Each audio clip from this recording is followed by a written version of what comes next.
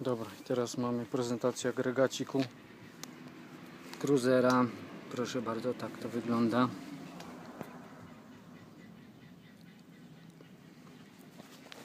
Naklejka gdzieś tylko zginęła z rozrusznika. Mhm.